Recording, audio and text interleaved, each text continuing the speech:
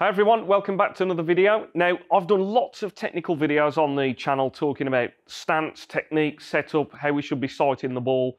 Um, but in this video, I'm going to talk about one of the biggest things that stops players from improving, and I'm seeing this problem all the time.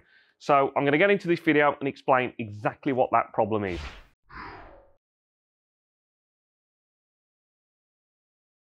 Now, obviously, snooker is a technical game. We've got lots of things to think about. I've done detailed videos talking about exactly how the grip works, our bridge length, um, where we put our head down on the cue, the fact that we stand up behind the shot and we sight shots. Uh, we've got all these things to think about. And I would say one of the biggest things that destroys a player's game or holds them back from improving further is concentrating too much on all of these technical things. So I'll see players when they're approaching the game that are walking into the shot and they're concentrating on placing the right foot perfectly for a, a right-handed player. So placing the right foot perfectly, then getting the left foot placed absolutely perfectly, thinking about exactly what the feet are doing. Then when they're down on the shot, they're starting to make sure that their elbow position is absolutely perfect. They're thinking about what they're doing with their grip at the back. And all of a sudden, what I'm finding with a lot of players when I'm doing my coaching sessions is our brain is overloaded with too many things to worry about. You've got all of these 20 thoughts in your head, and in the end, it is not helpful. If you're doing the fundamentals well, then that is good enough. Now, one of the big key things I'm saying here is that actually, let's imagine we've got a list of important things we should be doing on the shot. So we've got how we stand, how we walk into the shot, our bridge length, our backswing, how fast it is, um, the pauses in the cue action, whether we pause at the cue ball, whether we pause at the back. And then you've got all these things. And then at the bottom of that list for a lot of players is actually potting the ball in front of them. Now, silly as that sounds, that's what's happening for a lot of players. They're getting held back because they're thinking of all of these technical things. And the last thing on that priority list is actually potting the ball. So what I'm trying to say to players is this thing at the bottom, potting the ball, must be moved to the top of the list. That has got to be your number one priority. What we're doing is we're trying to get the object ball into the pocket and obviously control the white. Then all of these other things we do around that, which is having our technique nice and neat, having a good bridge length, standing correctly, keeping still on the shot. We do those things as an added bonus to make ourselves really neat as players. So this is what I'm seeing very, very commonly. And it's actually holding players back because there's just too many thoughts in their mind at any one time. Okay, so with those things in mind, I've now got a straight ball to the middle pocket here. Now, I'm always doing this in my coaching sessions. So when I'm working with players on the table, I'll start off with a straight ball to the middle pocket here. This is almost like a nice foundational shot for a player. Then you can move on to playing a straight pink to the corner, pick the best side of the table for you based on whether you're left or right handed. Then you can move on to either a straight green or a straight yellow, and then you can move on to a long straight blue. Those are the four levels, I'd call it, of straight cueing. Now, of course, with these things in mind about players getting distracted, the first thing that I'm always saying to a player that they must be concerned about is that this shot must look good in front of them. So it doesn't matter how I stand, what I do, what I'm trying to do, is get this little wooden stick, which is our cue, placed on the line of the shot to pop this ball. Now, obviously, this one is nice and straight to the middle, so that's the line I'm trying to place the cue on.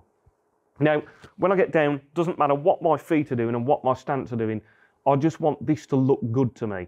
So the shot looks good to me, and then I can pull the cue back and play my shot. So it looked, it looked good, and it went in. Now, the second thing I would say on our priority list is cue control. So we've got potting the ball as number one. The second priority that we must have as a player is controlling this cue. So it doesn't matter about all the other things about the stance for a second and those things, controlling the cue. That's what all top players will have in common. So technically, we then start to talk about things like pauses. So whether a player will pause at the cue ball, whether they'll pause at the end of their backswing, um, how fast the backswing is. But really, all you want to be concentrating on is just being smooth. For lots of different players, they have different pauses. So Shaun Murphy's got a big backswing pause. Someone like Mark Allen, who's just won the UK Championship, he just brings the cue back and he doesn't really have a, a pause at the end of the backswing. But what they've all got in common is a nice smooth backswing and delivery. So then that's my second priority. So I'm thinking, right, I'm doing my feathers up, and then when I'm happy, this comes back smoothly and then it goes forward smoothly. So that's what I'm trying to control. So those are your first two things on the list. All the other things we then do to neaten up as snooker players are around those fundamental things. As I say, you've got to be really careful that you don't get it backwards, that you don't watch all these instructional videos, there's lots out there on YouTube, and you get distracted by doing all of these technical things and not actually worrying about just potting the ball in front of you. Then we can say, right, for a right-handed player, I can now start to get my right foot close to this line of aim. So I've put my right foot there for consistency. I want to make sure that my right foot is going in the same place on every single shot. I don't want it placed in a random position. Does the right foot need to be millimetre perfect? Absolutely not. That is not going to stop you from potting the ball. So I would be looking at this shot here, and then as a right-handed player, I try to walk into my shot and place my right foot on this line. Most important thing is that my heel is going on the line. Left foot's going a little bit in front, and then that makes me feel like, okay, I've got this nice fixed base to play a shot from, and all I'm trying to do here is almost form a tripod. Right foot on line, left foot a little bit in front, and then my bridge hand on the table forms those three key points on the table. Now, that's all you're trying to do with your stance. It does not need to be millimetre perfect. You won't start missing shots just because your right foot ended up or one millimetre to the right of the line or one millimetre to the left, and you won't miss shots because your left foot didn't end up perfectly. So it does not have to be millimetre perfect. So I would be walking into my shot, sliding down into it, my feet are forming that nice tripod, and I can pull my cue back smoothly and then play my shot. So that's why we're doing those things. But again, I think people get absolutely obsessed with it being absolutely perfect each time. Then one more technical thing that we'll talk about in this video here is then we just try and have a, a grip so we're not doing too much squeezing and over tightening. Obviously on long, deep screw shots, we might need to add a, a bit of extra grip pressure there. But for most of our shots, we're trying to just have this grip nice and relaxed. We start with about a four or five in terms of pressure, and we try and finish with that. So that's just another layer. Underneath, potting the ball, having a smooth cue action, getting a consistent stance so it's not random each time, and then being relaxed, I think, is key. And the grip is a very important key part of that. So then, um, so then I can do all those things. I can look at the shot, looks pretty good to me from here, walking, go down to the shot, keep my grip nice and relaxed, pull the cue back smoothly, and play my shot.